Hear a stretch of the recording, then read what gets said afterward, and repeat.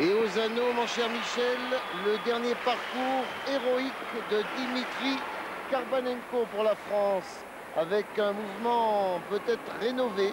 Et un tout nouveau mouvement depuis euh, cet après-midi, puisque en raison d'un changement, d'une modification du code de pointage sur les exercices en planche, Dimitri a dû changer son exercice car il était trop pénalisé. Alors, c'est une adaptation immédiate à ce nouveau code.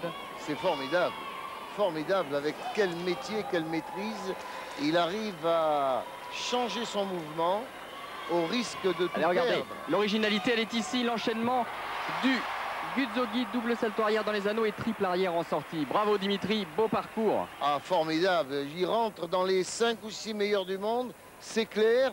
Et c'est très bien pour la gymnastique française, puisqu'on retrouvera Dimitri Karbanenko en finale dimanche après-midi au sol sur France 3.